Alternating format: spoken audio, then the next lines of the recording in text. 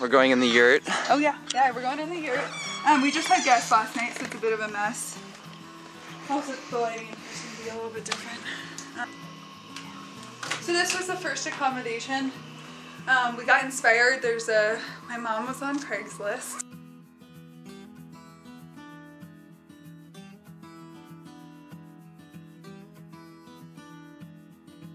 So this was our first accommodation.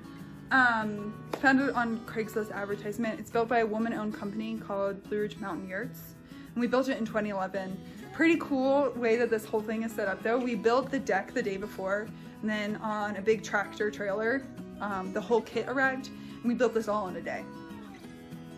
Yeah, not, not the inside, but the framework.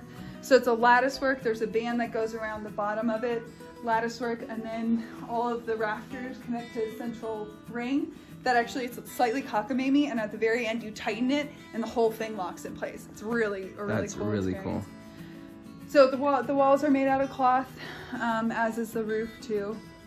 Um, this all is you the- people out there who want yurts, this is this is what it looks like, and so far I want one. Yeah, it. I we definitely. I mean, I've had some hard lessons. It's great as like a short-term accommodation. Long-term, I would get a hard-sided yurt.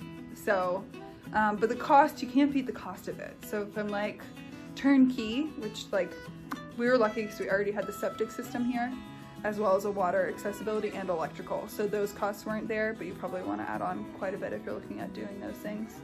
Um, I think it was fifty thousand dollars for this whole thing.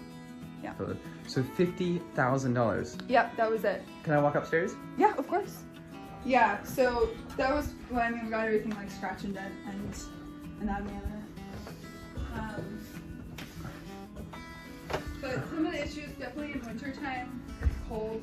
Um, and water because we're in uh, a very wet environment that we do have we do contend with water quite a bit in a cloth structure and our friends that are bugs bugs is not a bug group building it's a big tent but again it's really fun it's really peaceful it's beautiful in a rainstorm um, you really feel connected to that you can hear the rooster yeah that's what I'm talking about So I'm looking up here.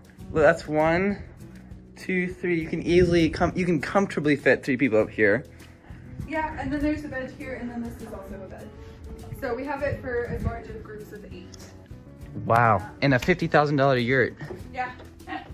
um, but I mean, we've done a lot of work since then.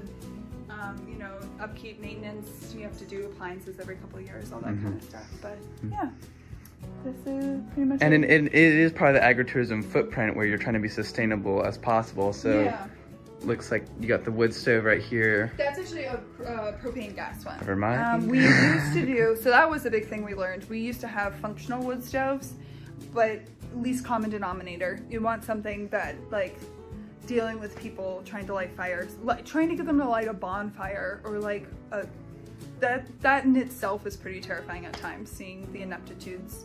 I'm sorry, not ineptitudes. That's not nice. Just seeing, people have never experienced that. They've never done it before. And you just need to be cognizant of that when you're mm-hmm. asking them. And so a lot of the time I'll ask like, oh, have you lit a fire outside? No? Okay, let me show you some basic safety rules and regulations. There's a hose here, you know. Can you explain the general? So there's no there's no basement. No, It's- there's no basement. It's, it's a two single, floors. Yeah, it's, yeah, it's two floors. Floor and a half, I guess. Yeah. So it's one one main bedroom, and this this looks like you can close this guy off. Yeah, You can you want some privacy? You can close that. I mean, again, people just left here, so enjoy this rougher bed. um, yeah, this is like the master bedroom, and then there's a full bathroom um, with a bath in it. Um, Oh wow.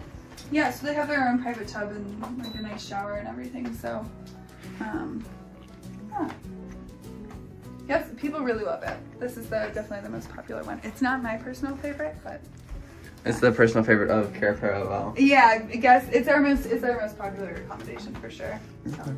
And you said, and you, remember, it took you a day to put this whole thing up.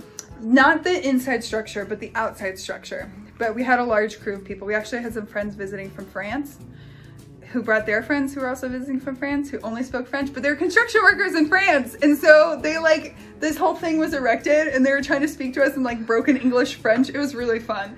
And they were like, no, no, no, and like, like directing us. And we're like, oh, thank good, thank goodness they were here. So, I mean, we obviously had scaffolding up here and we probably had a crew of like 10 people um, putting the whole thing together. But and it was one of the first ones that Blue Ridge Yurts had, had built too. Um, in like this capacity and so a lot of people come here when they're looking at purchasing from them so it's kind of nice so like we have a really good relationship with them and whenever we need repairs they're really like on it with us because they're like you've sent us so much business over the years we're like you're welcome but yeah All right. Well, it's really fun to be in now like well we've had thank you, Manny. I appreciate it. Um, showing me around. This is really awesome. And maybe one day I'll have a yurt. Who knows? I'll send Do you it. send you a PM if I do. thank you. sure